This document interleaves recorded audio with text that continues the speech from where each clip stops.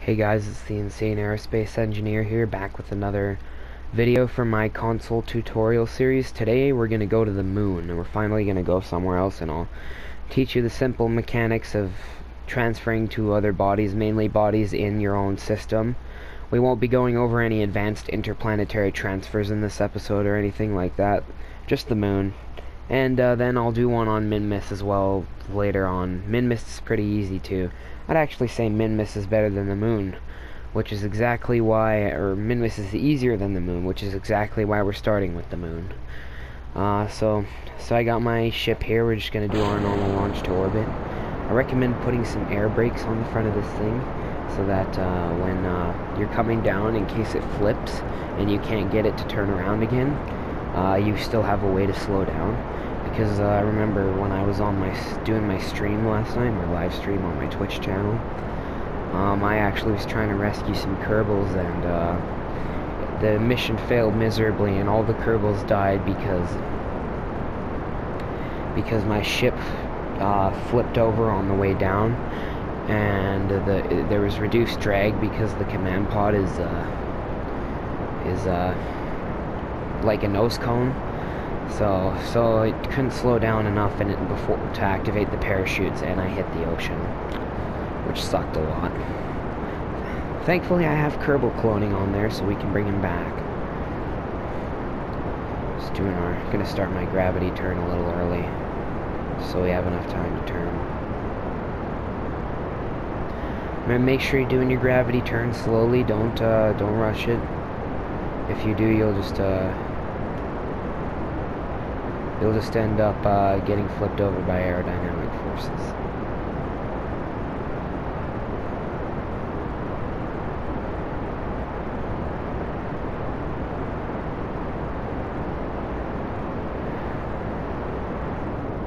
Throttling down a little bit here. Keeping the turn going.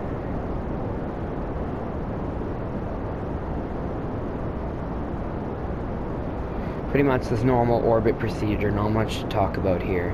Make sure you're on a perfect equatorial orbit so that you don't, uh, so it, will make it a lot easier to get to the moon, because the moon's on a perfect equatorial orbit as well. There's no inclination. Our real moon has, has some inclination. I'd argue against there being able to be a moon with a perfect orbit, but this is a game, so we'll forgive.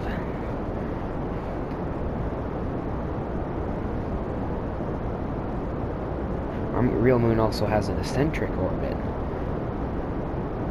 Of course, it's not very eccentric. When you see huge moons in the sky, that's just an optical illusion.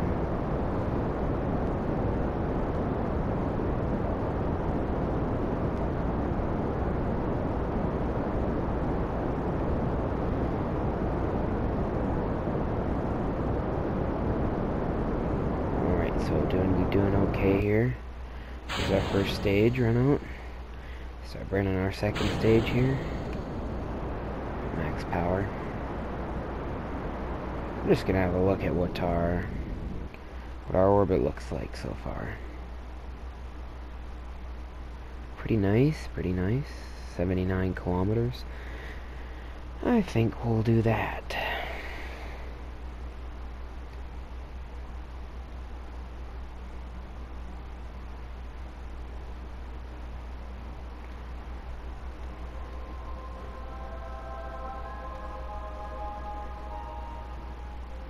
Alright, and starting our burn now.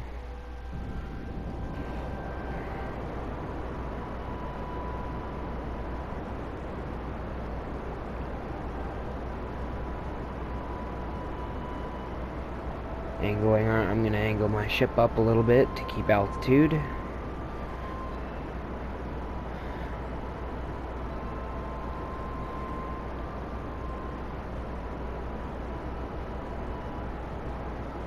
down a little bit now to keep speed.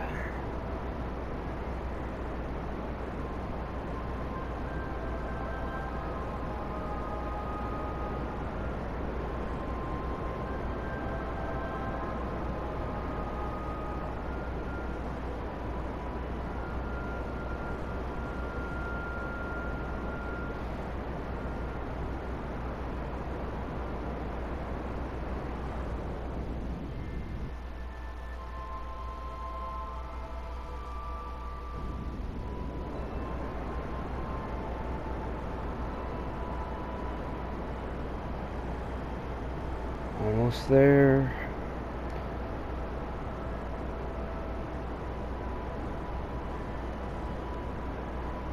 And there we are. Let's see what we got here. Perfect. Alright. Now we're headed for the moon. So what you're going to do now is you're going to set the moon as a target. And you have these two green markers that show up. You have the ascending node and the descending node. The moon orbits pretty quickly around, so it doesn't take much to catch up. You can probably you could probably catch up to it right here. So so when you're looking look for the ascending look for the node these look for the green node that's the closest to the actual moon but you may need to make adjustments off that path like to the left or the right like this like here or here to actually kind of adjust for to intercept the moon. Because the ascending node and the descending node aren't always a 100% accurate but most of the time you can use them. And as you can see immediately we have an intercept with the moon but I'm going to show you how to adjust it right? All I did was drag the prograde marker forward and it raised our orbit up so that such that we would get an encounter with the moon. So let's focus view on the moon and if we focus view we can see what our predicted periapsis around the moon is during our intercept. So let's go ahead and click on our maneuver node again right? And we're going to try moving our moving these uh, radial and anti-radial markers to change our orbit. So as you can see, we've uh, brought our orbit much closer to the moon, and this this means that we'll pass closer and we won't have to waste as much fuel. Like we can just basically slow down pretty much right away, and we won't have to waste as much fuel. So yeah, drag it, get it really nice and close around the moon. There, the moon has no atmosphere, so you can orbit as close as you want. So the the lowest orbit on the moon is the highest mountain. Go any lower than that and you'll probably hit a mountain and die.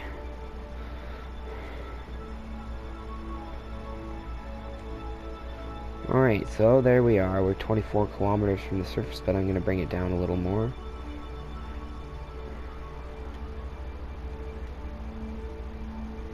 So, nope, 19, not quite ready yet.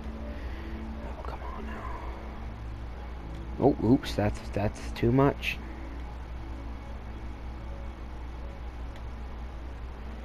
Alright, so yeah, 7 kilometers from the surface. There we go, that's what we'll do. So we're going in for a friggin' really close and fast approach where we'll just kill off all our lateral velocity immediately.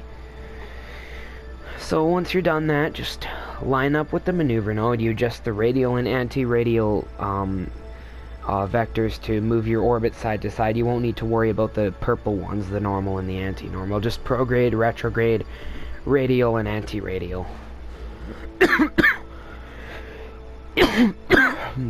oh, sorry. Alright, so we're lined up with our node here. I'm gonna enable my cursor and start the time warp.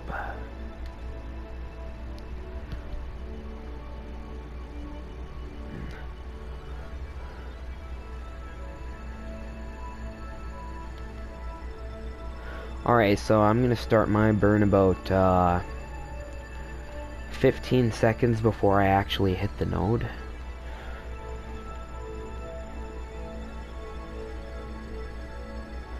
So I'll start now. Predicted burn is about 40 seconds, don't worry about that. You can go over your node. Start a little bit before, don't start a lot before, otherwise you could end up falling back to the planet.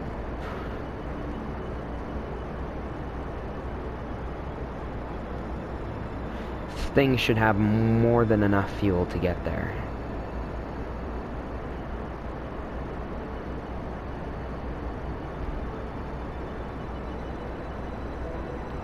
Watching, of course, also focus your view on the moon.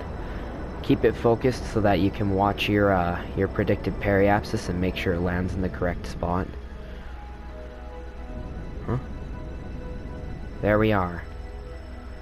So see, we'll just make our small adjustments, our leftover adjustments now. Right on the money. Yep, our predicted, uh, let me see here. Predicted periapsis is, yep, right on the money. Okay.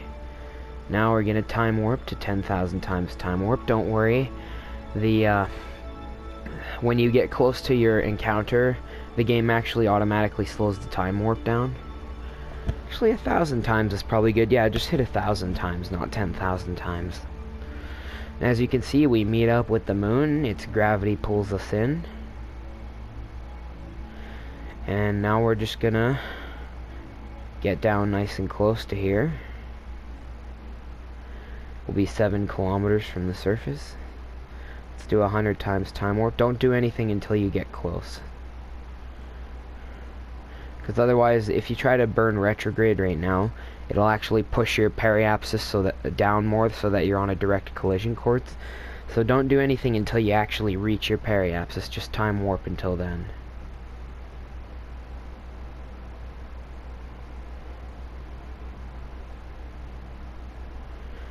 And don't enable a thousand times time warp, you'll miss your exit. Just be patient.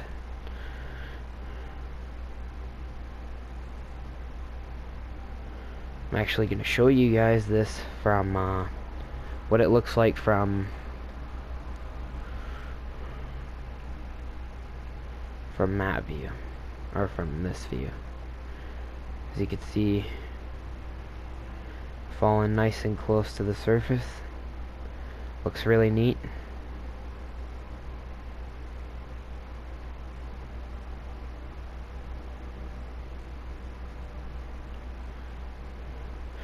The lag is because of the rendering. Console has to pause to render the surface of the moon. Alright, so we're here now. Getting close to our uh, target periapsis. So I'm going to go ahead and start adjusting for retrograde. Also carry a parachute for this mission because that way, you know, you can slow down once you're in the atmosphere. Those air brakes will help tremendously, I think. Okay, so I'm just gonna see how much fuel I have left on this stage by by enabling my cursor and uh, clicking the resource display in the corner here and switching it to stage view. We have 37 units left in this tank, so not much. So we're going to start burning a little early, that way we waste off that 37 units right away. And then we'll have to stage them.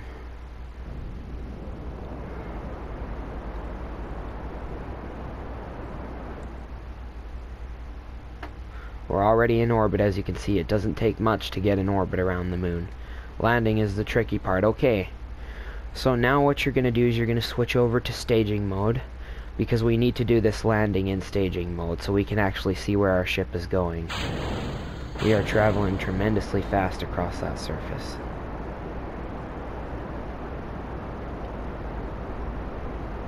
So yeah, we're just you are just pointing at the retrograde marker and killing all of our velocity. So you could even just press the retrograde button on here, but make sure you you turn off on and off SAS like this once you start to slow down.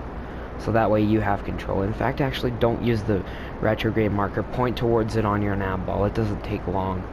Because uh, if you don't, you'll uh, you'll not have direct control of the ship and you won't be able to do what you want to. So as you can see, slowing down all the way here, already 50 meters per second. What we're going to do now is once we hit about 30 meters per second, we're just going to we're to let it fall, right? Because our retrograde marker will automatically move to match, like, what our orbit's like. Because it's always showing where you point to slow down, right? With your rockets. Alright, so now what we're going to do is we're going to deploy our landing legs.